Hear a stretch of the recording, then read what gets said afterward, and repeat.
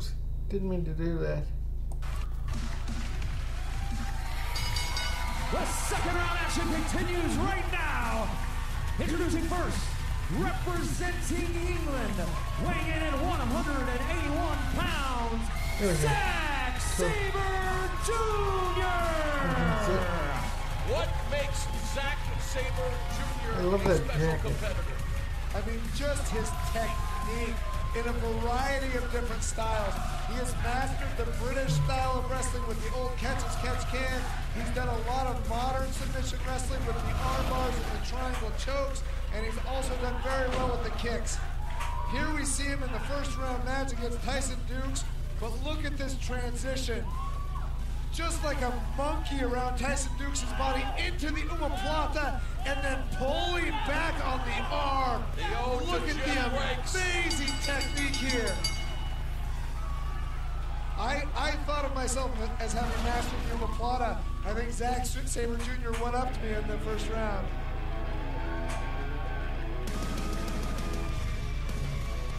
And his opponent, representing the United States, weighing in at 193 pounds, Drew Gulak. The Trailblazer joined a school wrestling team when he was 15. Two years later, when he was 17, started training for the pro version. Yeah, and Drew Gulak takes umbrage with Zack Sabre Jr. being called the best technical wrestler in the world. Drew Gulak is an incredible technician himself. In the opening round of the Cruiserweight Classic, Gulak defeated Harv Sihra with a body scissors dragon sleeper, and he's no joke in this tournament. No, regardless of what anybody says about Zack Sabre Jr., I think Drew Gulak's Dragon Sleeper is the most vicious submission in this tournament. Hold on. Right here, Saber. We went over instructions in the back. Either you guys have any questions? Okay, shake hands.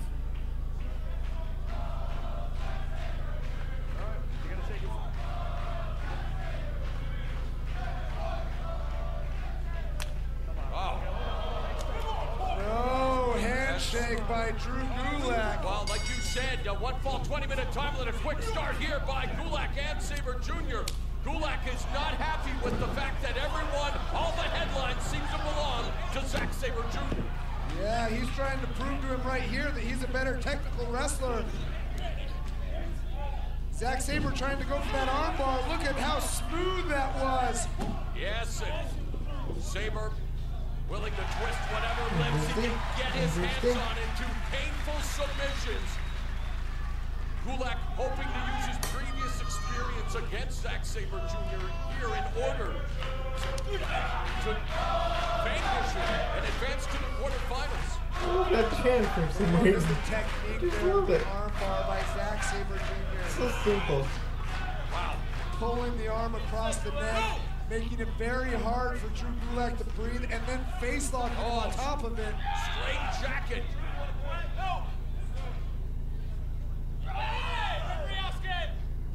He knows his craft so well. Trapping the arms of Drew Gulak in that Japanese stranglehold.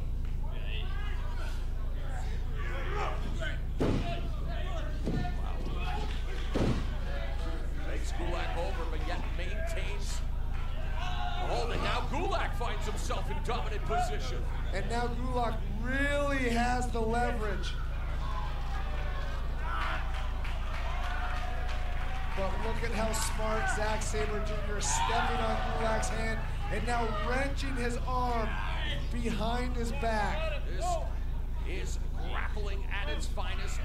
Mat-based offense from both Gulak and Zack Sabre Jr. now on their feet. Gulak looking to escape, kicks off. Using the ropes. Springboard from the bottom. And again, using the, the rope to launch his uh, attack on Zack Sabre Jr. And that chop was Yes. not so technical. But I, but I think Drew Gulak is con- uh, content with Oh, just beating Northern him Light up. suplex by Drew Gulak. Move innovated by Hiroshi Hase, another incredible Japanese performer when he was competing for the legendary Stampede Wrestling promotion in Calgary. As Gulak now attacking the midsection of Zack Sabre Jr. Drives his head right into the gut of Zack Sabre Jr. And Gulak again just wanting to prove to Zack Sabre Jr. You know what? They call you the technical wizard. Well, I'm just as proficient as you are. Not only as profic- proficient, but probably more vicious than Zack Sabre Jr. Looking to slap the taste out of Zack Sabre Jr.'s mouth. Yeah, that chip on his shoulder might give Drew at the edge here. He's willing to do things while he has holds, like the slaps to the face that we just saw, to really inflict punishment on Zack Sabre Jr. Reversal on the Irish whip. Gulak lands on the apron. Runs. Sabre runs right into the forearm, and Gulak again ascending to the top turnbuckle. Oh! Back right into the Fujiwara armbar. Beautiful transition by Zack Sabre Jr. Drew Gulak's in trouble here. Double wrist lock by Zack Sabre Jr. He would hate to be tapped out to Zack Sabre Jr., especially after all the talk of wrist? Zach being the best technical wrestler in the world. Good escape by Gulak, rolling out. No, no, no. Oh, and look at this. Gory Guerrero special. Guerrero special. The patriarch of the legendary wrestling family. Look at Zack Sabre Jr.'s shoulders. That is torturous. This is a torture hold by Drew Gulak. Now grabbing his chin and oh, pulling it across his shoulder. Gory Guerrero never applied this special First one was more painful than Now the shoulders are down. And now into a Boston Crab. Look at the way Zack is bent. Oh, we're- roll up here by Sabre. Wow, Yeah. tremendous Tim stuff Red from both and Tim Red. competitors. Much to the delight of the crowd here at Full Sail University. This is what cruiserweight wrestling is all about. I might have to side with Drew Gulak in this one. He's out techniquing Zack Sabre Jr. Fireman's carry takeover by the Using all leverage, not strength. And look at him hitting his arm down and wrenching on Zack Sabre Jr.'s neck. Beautiful display of the ground game, the grappling arts, one of the foundations of professional wrestling. And you are seeing diversity in this tournament. Oh, octopus hold here by Zack Sabre Jr. Out of nowhere. Hold on, hold on. And this ties up Gulak's entire body. But look at Gulak grabbing the leg. Beautiful transition into an ankle lock. Gulak seemed to have a counter for everything Zack Sabre's Jr. is doing. There's a counter by Sabre. Oh, with the side headlock, but then dropped on his back. Each time Zack Sabre Jr. does an impressive counter, Drew Gulak does one that's just an inch or two better. A motivated Drew Gulak wanting to eliminate one of the tournament favorites. You can see the frustration on his face. Up into that electric chair position. Oh, Zack Sabre Jr. This is how he. This is how he won the first round match against Tyson Dux. He's got the Kimura. Will he transfer into the Omoplata? He's got that body triangle with the Kimura. Going for the Jim Breaks special. Drew Gulak has to break the hold. There's the strike. Scooping a slam. And hey, Right on the again, shades of world of sport where they used to slam their opponents into the ropes to add to the punishment. Yeah, did you see the way Zack Sabre Jr.'s leg hit the rope? He's gonna be feeling that for sure. Maybe a little much. The crowd heavily invested in this grueling affair between Drew Gulak and Zack Sabre Jr. it out later. One fall, 20-minute time limit. The winner advances to the quarterfinals. Oh, penalty kick by Zack Sabre Jr. Gulak powers up.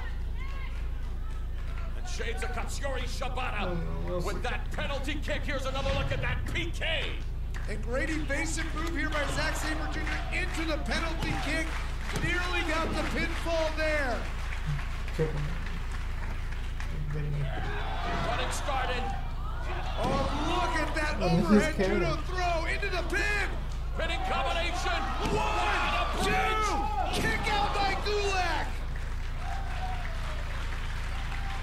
Incredible wrestling by Zack Sabre Jr.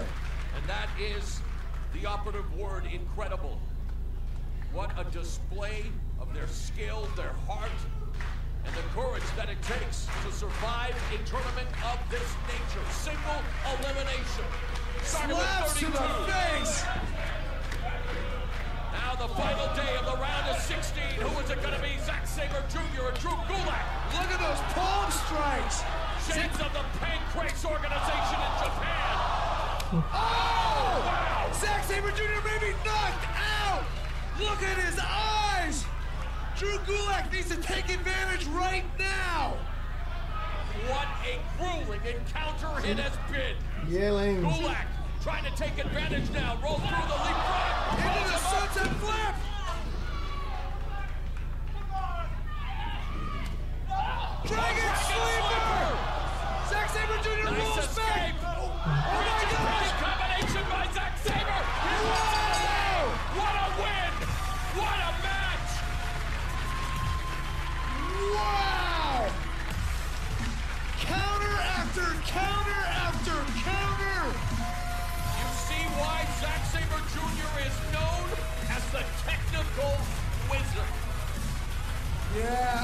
Drew Gulak is heartbroken.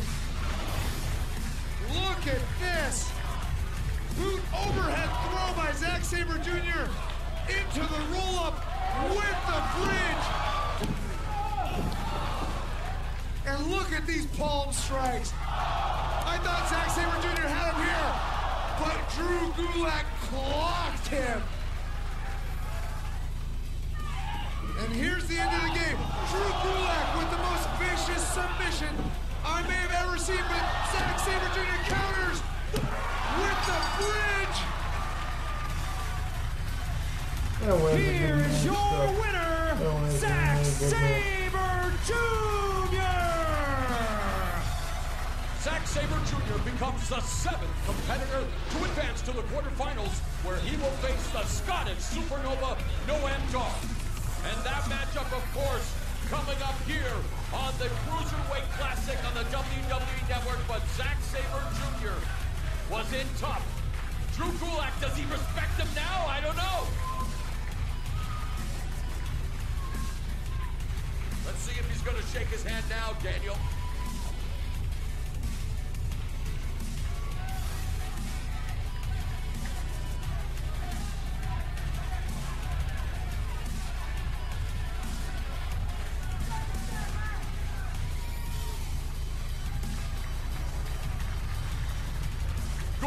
Begrudgingly shaking the hand of Zack Sabre Jr., who finds himself in the quarterfinals. One more spot to fill. It's the Filipino flyboy, TJ Perkins, taking on Johnny Wrestling himself, Johnny Gargano, who will find themselves one step closer to fulfilling their dream. We'll find out next on the Cruiserweight Classic.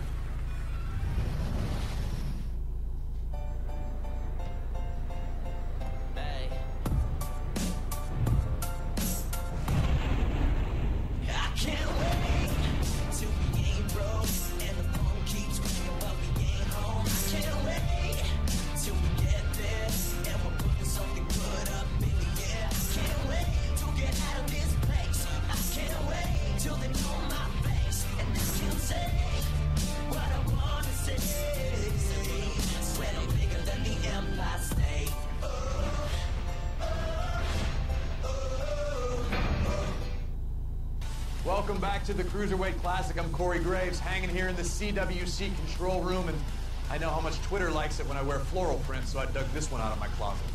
With the technical wizard having just advanced, we are down to just one more spot in the quarterfinals of this tournament. It's Johnny Gargano taking on the Filipino hotshot T.J. Perkins. How can Gargano, on just four days rest after his match at TakeOver Brooklyn, possibly be 100%? I don't know. But if there's one thing we've learned so far here in the CWC, it's never to count out the heart of Johnny Wrestling. But will it be enough against one of the hottest competitors in this tournament, the showman, TJ Perkins? I feel like my generation, they look up to the heroes that they see, but they don't really have somebody who identifies with them directly. I think that my generation needs a representative. I'd like to be that. Started training at the age of 13, traveling throughout California and Mexico to sharpen his skills. He likes to do things with style. From a very young age, he was a wrestling genius. I'd like for people to see me wrestle and feel love. TJ Perkins is one of the fastest men I've ever been in the ring with. He does things that nobody else will do. I take pride in my ground-based game because I think that the most beautiful part of our game is submission wrestling. Oh, a little dab in there by TJ Perkins. Some say that Perkins is maybe a little too cocky for his own good. I would love if somebody thought that I was all flash and no substance because, you know, the longer they see me do that, the longer they keep on wondering. Not only did he do that with technique, he also checked his hair in the process. When you look back in history, there are things that are going to be traced back to this point in time, and my name is going to be on that list. And my name might be very high on that list. TJ Perkins looking for the submission, and he gets it with the knee bar. What a performance by TJ Perkins. I'm going to win the Cruiserweight Classic. I'm a versatile performer, and this will be the biggest thing that I've done and the largest stage I've blessed to be a part of. Me and Tommaso Ciampa. Sometimes you fight family harder than anybody else. Well, Johnny Gargano's normal tag team partner, Tommaso Ciampa, tonight, their opponents. If you're gonna win this thing, you need to beat your A game. But these guys know each other so well. Oh my gosh! They are throwing literally everything at each other.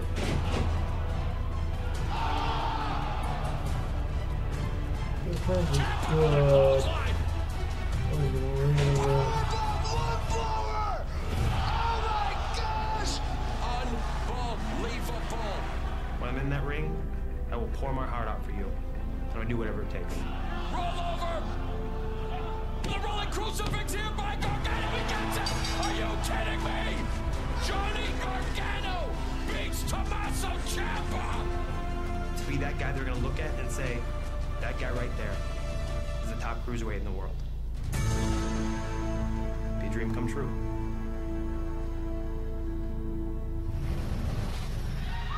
And we are set for the final second round matchup in the WWE Cruiserweight Classic.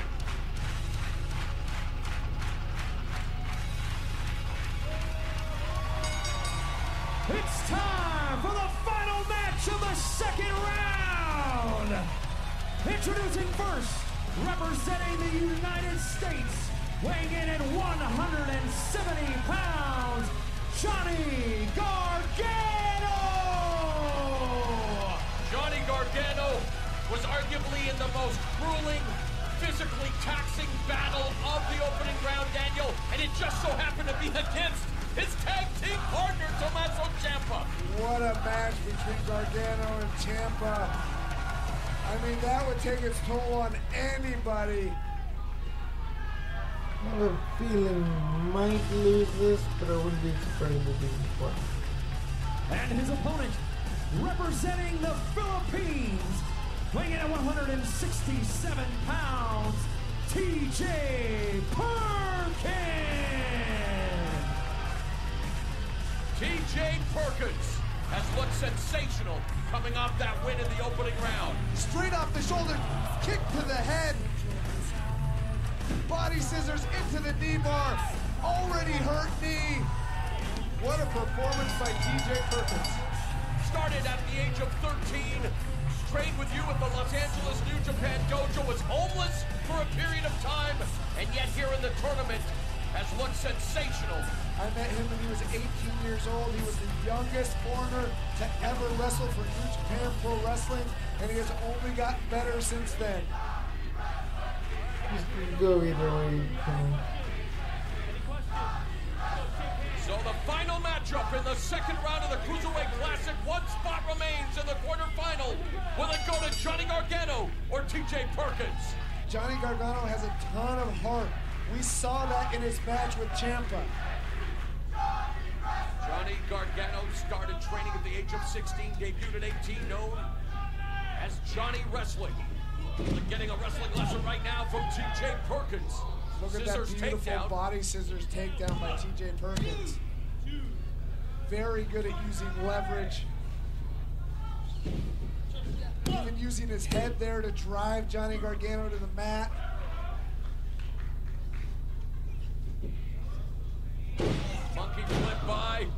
Gargano, but Perkins remains with the grip and then delivers a monkey flip of his own, looking for the training predicament. Now a body scissors by Gargano and armbar. Yeah, he needs to get lower on the wrist for that armbar to work, though. Beautiful counter by TJ Perkins. Indian Deathlock now into the Muta lock, popularized by Keiji Muto, the great Muta. Yeah, Johnny Gargano's knee is taped up from the beating he took at TakeOver. Yeah, the team of Gargano and Ciampa coming up short against the Revival. What was a terrific match for the NXT Tag Team Championships, but his knee compromised, and you know that TJ Perkins will focus his attack on that part of his body. Yeah, that reverse Indian Deathlock was so tight, the ref had to help the two get out of it. European uppercut delivered with a plum by TJ Perkins. Reversal on the Irish whip. Oh, and a kick right to the abdomen sends Perkins outside. Suicida by Johnny Wrestling.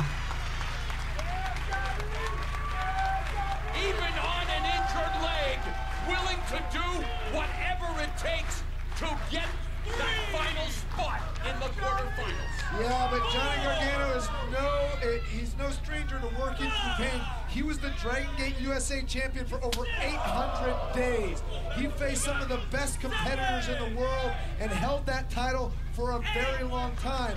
He is no stranger to working through injuries. We just saw Rich Swann advance. He's faced Rich Swann many times. Akira Tozawa and Zack Sabre Jr. upon a roll by Gargano. Countered by TJ Per. Oh! Surfboard. Look at the wrestling smarts here by Johnny Gargano.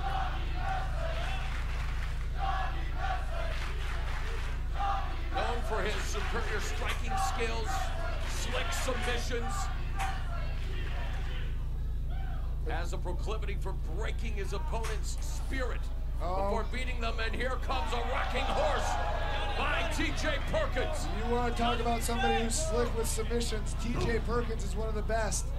Look at his transitions here. And now it looks like he's going to go for that Romero special. And again, just torturing. Has his shoulders down now, but it's over. Actually, TJ Perkins' shoulders were down as well. Yeah, I've been in that predicament before. It can be tough when you have that surfboard trying to pin your shoulder, your opponent's shoulders to the mat. Perkins refers to himself as a wrestling Yoda, tremendously high ring IQ. 18-year veteran, just 31 years of age, walks right into that boot from Gargano. Beautiful sunset flip, the roll-up, jackknife cover, no, head scissors. Takeover there by T.J. Perkins. And a little jab for effect. TJ Perkins, one of the most well-versed people in this tournament, having wrestled a variety of styles. He wrestled extensively in Mexico, wrestled extensively in Japan, wrestled all over the United States and Europe. Idolized three of the very best in Eddie Guerrero, Shawn Michaels, and the original Tiger Mask, Satoru Sayama. And there's a kick that Tiger Mask would be pleased with as Gargano turning the tables, tapping the shoulder. Gargano on the apron. Dives through the ropes and nails. He speared Perkins. Yeah, nice. Using his body like a lawn dart. Yeah, but look at him holding holding that knee. Look at that again, one more time. Gargano firing himself like a missile into the body of TJ Perkins. Yeah, but you wonder the toll that's taken on his knee. You can see the tape underneath his knee pad.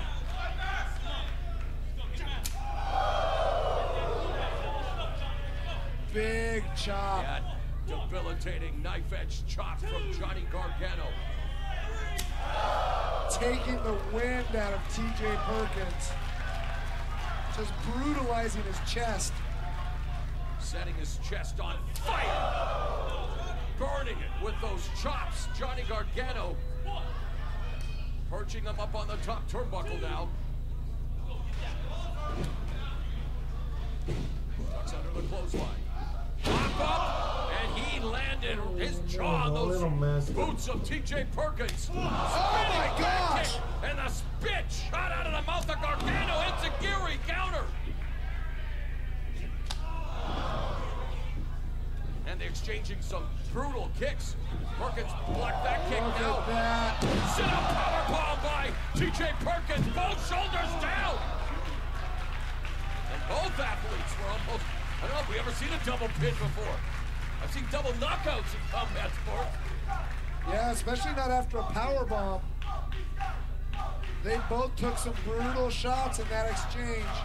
Again, just one spot remains in the Elite Eight. It will go to either TJ Perkins or Johnny Gargano unless they go the 20 minute time limit. And these two, as competitive and as evenly matched as they are, that just might be the case. But look at Gargano clutching at his knee again. I think it's really starting to bother him here. TJ Perkins through, just so slick. To the back. Gargano trying to get himself back up to his feet. Oh! Good counter by Gargano. Oh my gosh! He His almost got it. leg! Did you see his leg? Oh, fuck. Into the bell table!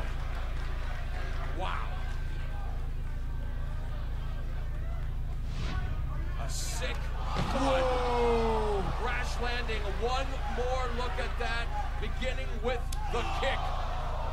And then the counter. I can't believe how hard his leg hit the bell table! That's his bad knee! Whoa, both men down and out.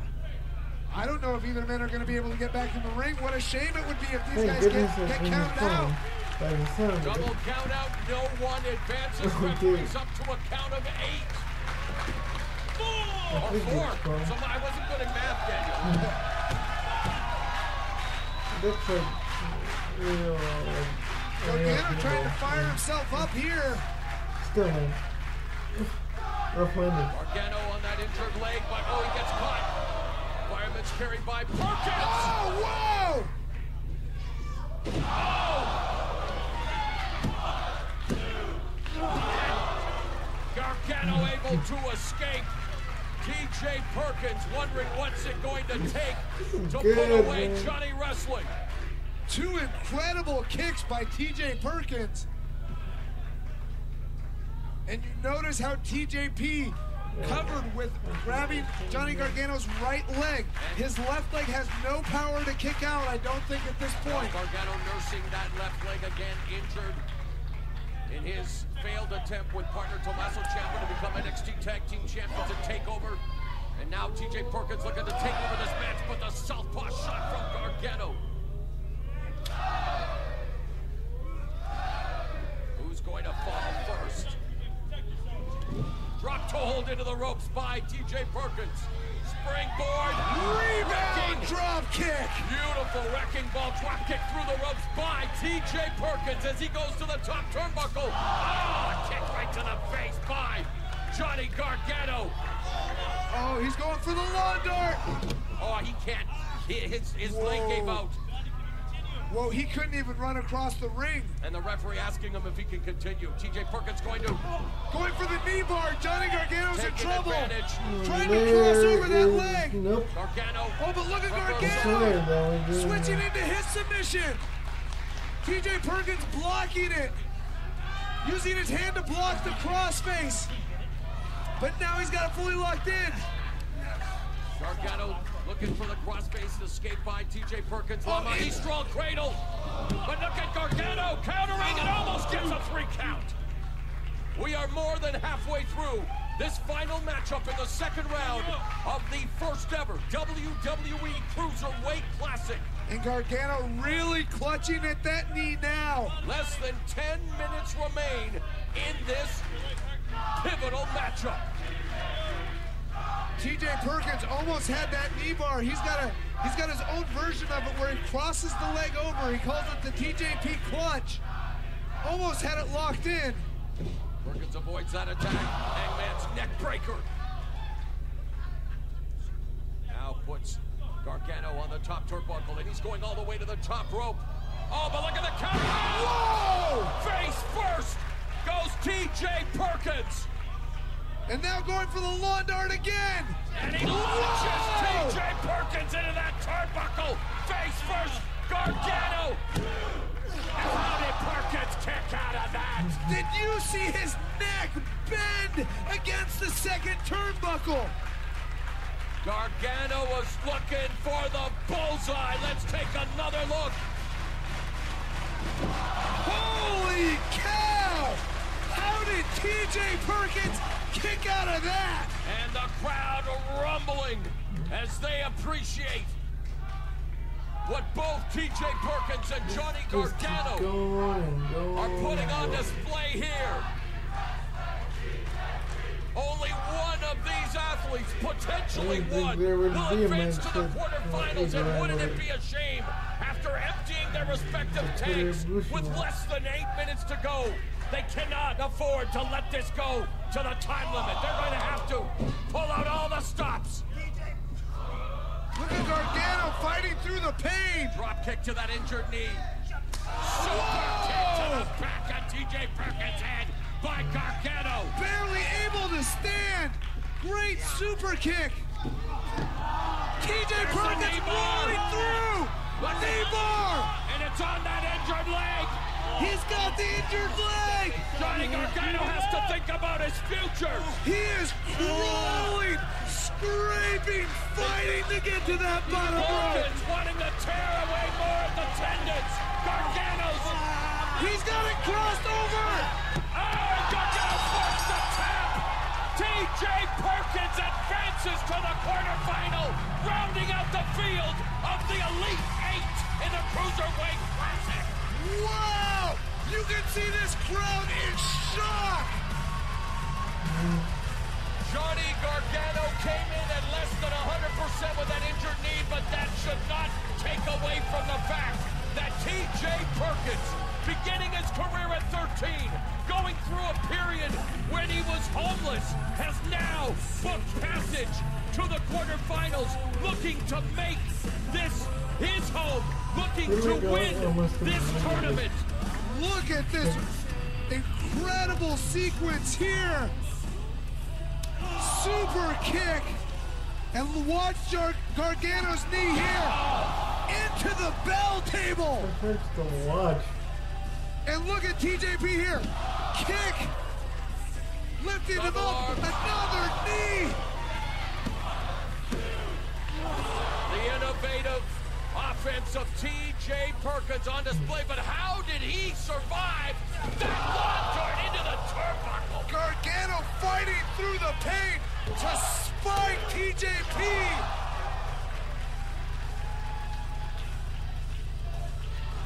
And look at the duck head kick into the super kick.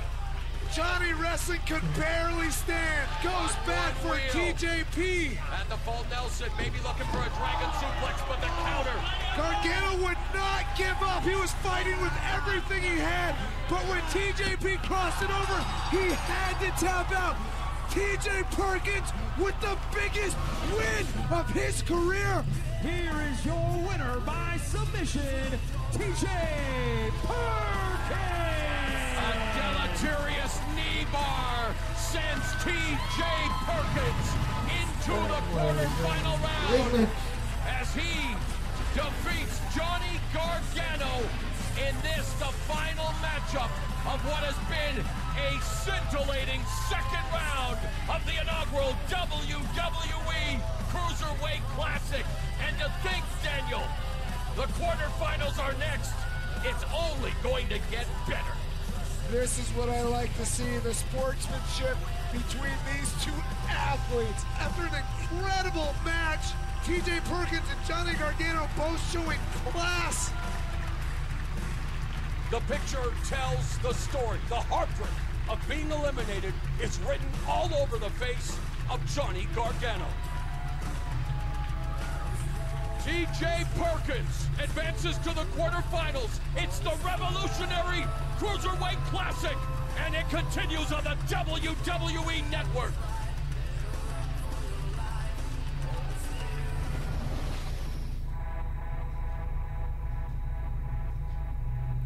It started with 32 men. 32 dreams. But now, only eight remain. The Great Eight. Kota Ibushi, Grand Metalik, Akira Tozawa, Noam Dar, Brian Kendrick, Rich Swann, TJ Perkins, and Zack Sabre Jr. There These is a bit of warriors continue their quest to become the first ever winner of the Cruiserweight Classic. Who will fly higher? Who will reach deeper? And who will push harder to make their dream a reality? The quarterfinals begin next week, right here on the WWE Network.